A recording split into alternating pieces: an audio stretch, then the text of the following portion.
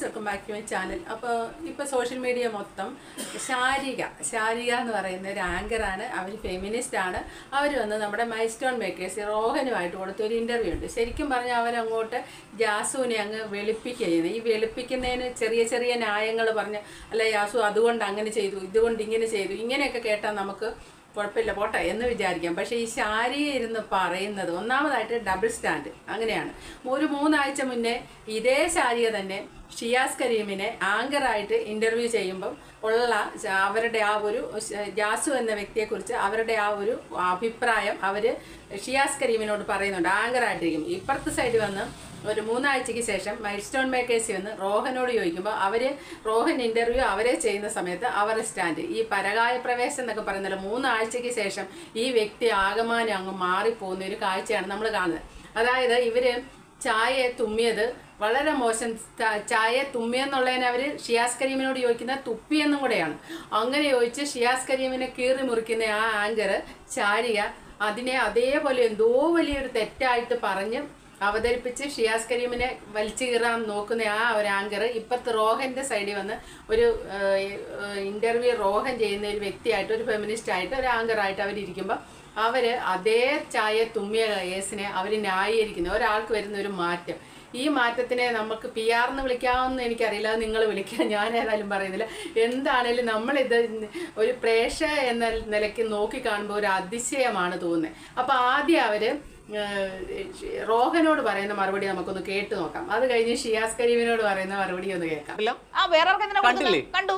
ചായ കണ്ടില്ല? ചായ കൊണ്ട് കൊടുത്തു. ഞാൻ കണ്ടതാണ്. ജാസ്മിൻ ഇങ്ങനെയാണ് തുമ്പിയത്. അത് അങ്ങനെയല്ല. ഞാൻ കണ്ടതാണ്. കപ്പിലേക്കാണ് തുമ്പിയത്. കാഴ്ച കുറവുണ്ടോ കണ്ണട എങ്കിൽ പിന്നെ എങ്കിൽ പിന്നെ അയാൾക്ക് ചായ കുടിക്കാതിരിക്കണം. അങ്ങനെ കണ്ടിട്ടുണ്ടെങ്കിൽ. ഒരാൾക്ക് അതിൽ തുമ്മിയോന്ന് അറിയോ ലാലട്ട് കൊടുന്ന് വിഷയം കാണിച്ചപ്പോഴേ അയാൾക്ക് ചായ കുടിക്കാതിരിക്കുന്നുണ്ടെങ്കിൽ എന്ത് ചെയ്യണം? അത് കാണാതിരിക്കണം. ഇത് വിഷലിലെ കണ്ടതിന് ശേഷമാണ് ബാക്കി? കണ്ടസ്റ്റോട് കണ്ടത്. അതെല്ലാം കഴിഞ്ഞ ശേഷമാണ്. തടഞ്ഞു വെക്കാൻ പറ്റും മനുഷ്യ? തടഞ്ഞു വെക്കാൻ പറ്റും. ഇതിൽ നിന്ന് മാറ്റിയിട്ട് തുമ്മാം. അല്ലെ? മനുഷ്യ സാഹചര്യം മാറ്റി ചെയ്യാൻ പറ്റും. അല്ല എങ്കിൽ കൃത്യമായിട്ട് കാഴ്ചക്ക് എന്ത് പ്രശ്നം കാരണം അങ്ങനെ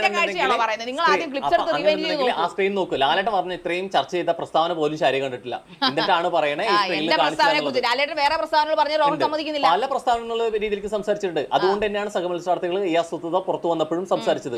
പലതും അതിനകത്ത് സംസാരിച്ചിട്ട് വരെ പുറത്തു വന്നിട്ടില്ല എന്നും പറയുന്നത് തുമ്മുന്നത് തെറ്റല്ല പക്ഷെ തുമ്മുന്നത്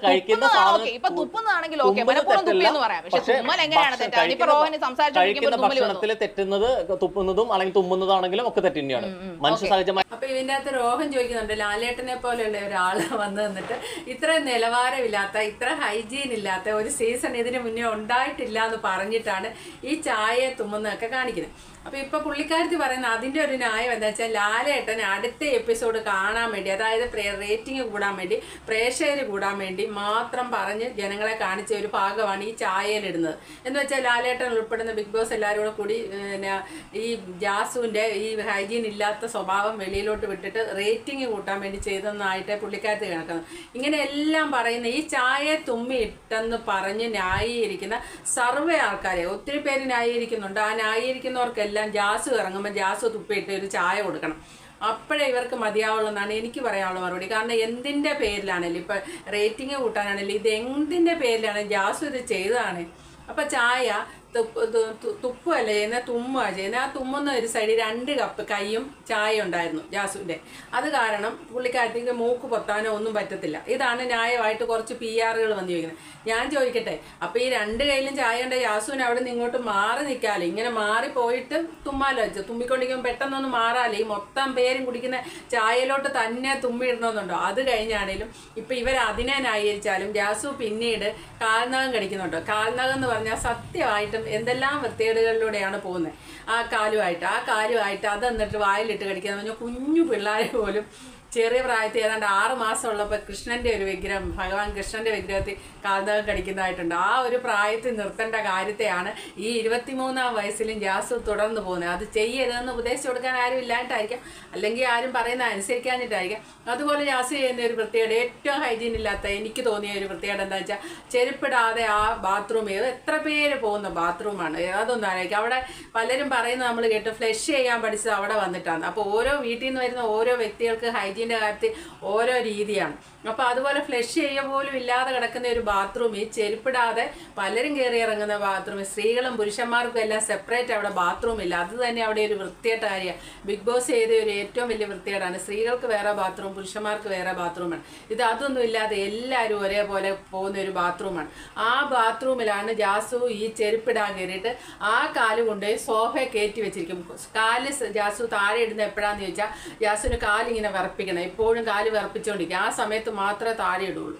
അല്ലാത്ത എപ്പോഴും എങ്ങനെയാ വെച്ചാൽ ആ കാൽ കയറ്റി സോഫയിലോട്ട് വെക്കും. അപ്പോൾ ആ കാലയിലുള്ള അത്രയും ചെളി ആ സോഫയിലെ കവറയിലാണ് പറ്റുന്നത്. അതേ വന്ന് പിന്നെ ബാക്കിയുള്ള മത്സരാർത്ഥികൾ ഇരിക്കുന്നു. ഇത് ജിന്റെ ഒക്കെ ചൂണ്ടിക്കാണിച്ചാണ് അപ്പം ശരിക്കും പറഞ്ഞാൽ ഇതൊരു വൃത്തികെട്ട കാര്യങ്ങളാണ്. ഇതൊക്കെയാണ്. പിന്നെ ഇടുന്ന ഡ്രസ്സെല്ലാം അവിടെ വലിച്ചു വാരി റൂമിലിടുക. ഇങ്ങനെ പല കാര്യങ്ങൾ ഓർമ്മയില്ല. പിന്നെ ടിഷ്യൂ തുടയ്ക്കുകയാണെങ്കിൽ ആ തുടയ്ക്കുന്ന ടിഷ്യൂ എല്ലാം കാണുന്നിടത്തിടുക. അവനവന്റെ വൃത്തികേട് അവനവന് വൃത്തികേടല്ല പക്ഷെ അത് മറ്റൊരാൾക്ക് വൃത്തികേടാണ്. അതാണ് ആദ്യം നമ്മൾ പഠിക്കേണ്ട കാര്യം. നമുക്ക് നമ്മളുടെ വൃത്തികേടുകൾ വൃത്തികേടുകളല്ല. പക്ഷേ ടിഷ്യൂ ഇട്ട് മുഖം മൊത്തം തുടച്ച ടിഷ്യൂ കാണുന്ന ഇരിക്കുന്ന ഇരിക്കുന്ന ഭാഗങ്ങളിൽ വെച്ച് മറക്കുകയാണ് പുള്ളിക്കാരത്തിന്ന്. ഇതിനെ എല്ലാം ന്യായീകരിക്കാൻ വേണ്ടി കുറേ ആൾക്കാരുണ്ട്. ഈ പറയുന്ന ന്യായീകരിക്കുന്ന വ്യക്തികൾക്ക് ഒന്നെങ്കിൽ ഇതേപോലത്തെ പ്രശ്നമുള്ളവരായിരിക്കും. അവർ ഇതേപോലെ ഹൈജീനായിരിക്കും തുമ്മിയാലും തുപ്പിയാലും ഒക്കെ ചായ കുടിക്കുന്നതിന് കുഴപ്പമില്ലെന്നായിരിക്കും. പിന്നെ ഇവിടെ ശാരികയുടെ കാര്യം പറയാം. ശാരിക ഇപ്പൊ റോഹനോട് ഈ പറഞ്ഞ മറുപടി അല്ലാതെ മറു സൈഡിൽ ഒരു മൂന്നാഴ്ച മുന്നേ ഷിയാസ് കരീമിനോട് ഇവർ ആങ്കറായിട്ടിരുന്ന് ചോദിക്കുന്നുണ്ട്. ഈ ഡബിൾ സ്റ്റാൻഡ് എന്നൊക്കെ പറഞ്ഞാൽ നമ്മൾ നേരെ മലക്കം മറിയാന്ന് കേട്ടിട്ടുണ്ടോ? നമ്മൾ ശരിക്കും കണ്ടങ്ങനെ ഞെട്ടിപ്പോവേ. ഇവരല്ലേ ഇപ്പൊ ഇങ്ങനെ പറഞ്ഞ? കുറച്ചു നേരം മുന്നേ ഇവർ ഇങ്ങനെ പറഞ്ഞു. ആ അവർ അന്ന് ഷിയാസ് കരീമിനെ മൂന്നാഴ്ച മുന്നേ അതായത് സാബു സേതൊക്കെ വന്ന സമയത്ത് ആ സമയത്ത് കൊടുത്ത ഒരു ഒരു ഷിയാസ് കരീമിനെ ഇന്റർവ്യൂ ചെയ്തപ്പോൾ ഇവർ ചോദിച്ച ഒരു ചോദ്യമാണ്. അതായത് ജാസ്മിനെ തുമ്മിയനെയും തുപ്പിയനെയും കുറിച്ചൊക്കെ അവർ ചോദിക്കുന്ന ചോദ്യമുണ്ട്. അത് നമുക്കൊന്ന് കേട്ട് നോക്കാം. അതിനുശേഷം മൂന്നാഴ്ചയ്ക്ക് ശേഷം കേട്ടതാണ് നിങ്ങൾ ഇപ്പൊ റോഹനോട് ചോദിച്ചാൽ കേട്ടത്. അപ്പോൾ ഷിയാസ് കരീമിനോട് ചോദിക്കുന്നത് നമുക്കൊന്ന് കേട്ട് നോക്കാം. എന്തിന്റെ പേരിലാണ് ഇവർ ഈ മലക്കം പറഞ്ഞെന്നുള്ള അറിയില്ല കേട്ടോ. നിങ്ങളുടെ മുഖമുദ്ര. അതായത് തെറി വിളിക്കുക ജോയിടിച്ച് പൊളിക്കുക കുടിക്കാതിരിക്കുക അതുപോലെ പിന്നെ ഗ്യാസ് ഓഫ് ചെയ്യുക. ഇപ്പൊ തന്നെ ഈ ഒരാളെ അവിടെ അവർ പുറത്താക്കി. അതായത് ജാസ്മിൻ. ജാസ്മിൻ ഒരു കാര്യം കഴിഞ്ഞ കഴിഞ്ഞ കഴിഞ്ഞ ജാസ്മിൻ പറയുന്നത് കേക്ക്. ജാസ്മിൻ കഴിഞ്ഞ ദിവസം നമ്മുടെ ശ്വേത പറഞ്ഞിട്ട് ശ്വേത പറഞ്ഞിട്ട് ഒരു ഒരു ടാസ്ക് ചെയ്യാൻ വേണ്ടി ചെന്നു. പവർ ടീമിന്റെ ഇടയ്ക്ക് അവർ ചെയ്യാത്തതിന്റെ പേരിൽ അവൾ ഗ്യാസ് ഓഫ് ചെയ്ത് കളഞ്ഞു അപ്പോൾ പവർ ടീമിലെ റശ്മി അവളുടെ തലയിൽ ഇരുന്ന് കിരീടം തട്ടി താഴെ അത്രയും പ്രൊവോക്ക് ചെയ്യുന്ന ഒരുത്തിയാണ് ജാസ്മിൻ എന്ന് പറയുന്നത് ആ ജാസ്മിനെ നിങ്ങൾ അങ്ങ് ഘോരഘോരം സപ്പോർട്ട് ചെയ്യുകയാണ് കാലിലെ നഖം കടിക്കുക തുപ്പിയിടുക വെള്ളത്തിൽ തുപ്പിയിടുക. ഇതൊക്കെ ചെയ്യുന്നത് തുപ്പിയോ? ആ. തുമ്മിയിടുക സോറി തുപ്പിയിടുകയല്ലേ തുപ്പിയിടുക. ചായക്കകത്ത് തുപ്പി ആ- ആങ്കറായ ശാരിക മുഴുവൻ സമയവും ഈ പി ആറിനെ കുറിച്ചൊക്കെ ഇന്റർവ്യൂ സംസാരിക്കുന്നുണ്ട് ശരിക്കും. പി ആർ ആണ് പി ആണെന്നൊക്കെ പറഞ്ഞുള്ള രീതിയിലൊക്കെ സംസാരിക്കുന്നുണ്ട്. ശരിക്കും ഇപ്പൊ ഇവർക്ക് ഇവരെങ്ങനെയാണ് ഇങ്ങനെ ഈ മലക്കം പറഞ്ഞത്? അതിന്റെ പിന്നിൽ എന്താണ് നടന്നത്? സത്യമായിട്ട് ഞാൻ അതാണ് ചിന്തിക്കുന്നത്. അപ്പം പി ആർ ആണെന്ന് ഞാൻ പറയുന്നില്ല. നിങ്ങൾക്ക് നിങ്ങളുടെ അഭിപ്രായം പറയാം. എന്താണെങ്കിലും എത്ര പെട്ടെന്നാണ് ഇങ്ങനെ മലക്കം പറയാൻ സാധിക്കുന്നതാണ് ഇത് എന്ത് സംഭവമാണെന്ന് ഇത് എന്ത് ട്രിക്കാണെന്ന് മനസ്സിലാകുന്നില്ല. ഒരു സൈഡിൽ ജാസുവിനെ എടുത്ത് പൊളിച്ചടുക്കി വലിച്ചു കയറി ഭിത്തിയാലോട്ടിക്കുന്നു. മറു സൈഡിൽ റോഹന്റെ മുന്നിൽ വന്നു കഴിയുമ്പോൾ ഓ ലാലേട്ടനെ വരെ തള്ളി പറഞ്ഞിട്ട് പറയുന്നത് ഇവർ ഫെമിനിസ്റ്റ് ആണ്. അപ്പൊ ആ ഒരു രീതിക്കൊക്കെയാണ് സംസാരിക്കുന്നത് എന്നാലും ഈ ഡബിൾ സ്റ്റാൻഡ് ഇത് കണ്ടില്ലെന്ന് നടിക്കാൻ പറ്റില്ല അതുകൊണ്ടാണ് ഈ വീഡിയോ റിയാക്ട് ചെയ്തത്. ഇത് എന്തൊരു ഇത് വല്ല അസുഖമാണോ എന്നറിയില്ല ഇതിങ്ങനെ ഇങ്ങനെ പെട്ടെന്ന് ഒരാഴ്ചയ്ക്ക് അല്ലെ രണ്ടാഴ്ചയ്ക്ക് മുന്നേ മറ്റൊരാൾ അത് കഴിയുമ്പോഴത്തേന് പരകായ പ്രവേശം പോലെ മറ്റൊരാളായിട്ട് ഇപ്പുറത്ത് സൈഡിൽ വരുന്നു. ഇത് എന്ത് രോഗം? ഇതാണ് നിലപാട് എന്ന് പറയുന്നത്. ഇത് എന്താ ഒരു ആങ്കർ അല്ലേ? ഒന്നുമല്ലേ? ഒന്നുമല്ലല്ലോ ഒരു ഫെമിനിസ്റ്റ് ആണ് അവകാശപ്പെടുന്ന വ്യക്തിയല്ലേ? അപ്പോൾ ഇവർക്കൊരു നിലപാട് വേണ്ടേ സത്യം ഇത് ഇത് എന്തുമായി കാണിച്ചിരിക്കുന്നത്? അപ്പോൾ okay thank you for watching അടുത്ത വീഡിയോ കാണാം. ആദ്യമായിട്ട് കാണുന്ന ഒരു ചാനൽ ഒന്ന് സബ്സ്ക്രൈബ് ചെയ്യണേ.